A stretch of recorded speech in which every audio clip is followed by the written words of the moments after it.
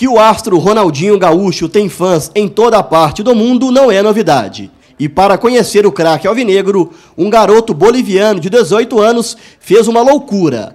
Elion Quintassi veio de La Paz de ônibus, viagem que durou cinco dias só para ver o ídolo. Nessa sexta, o garoto pôde conhecer Ronaldinho e todo o elenco. Ganhou uma camisa autografada pelo jogador. De, de, de, la, de Bolívia, de La Paz, hasta Belo Horizonte, onde está de donde estaba jugando Ronaldinho en Atlético Mineiro. Viajé muy largo, muy largo. Viajé mucho, cinco días. Y estoy aquí con, con hoy día, otros cinco días. Y ahora recién me dijo que me, me, va, me va a dar su autógrafo en mi dibujo.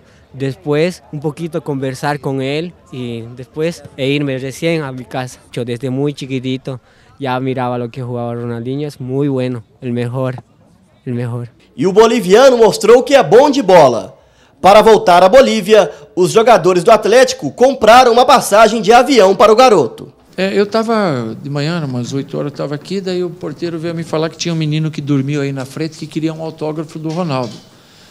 E aí eu mandei ele entrar para conhecê-lo, né? Daí conversei com ele, ele me contou quanto tempo que ele veio e, e buscava o autógrafo.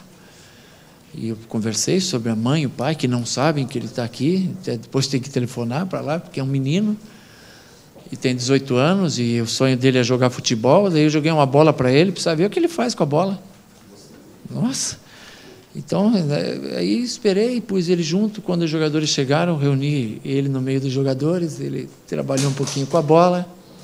Ganhou uma camisa autografada pelo Ronaldo, que é o grande ídolo dele, e ganhou ainda uma passagem de volta para casa, né?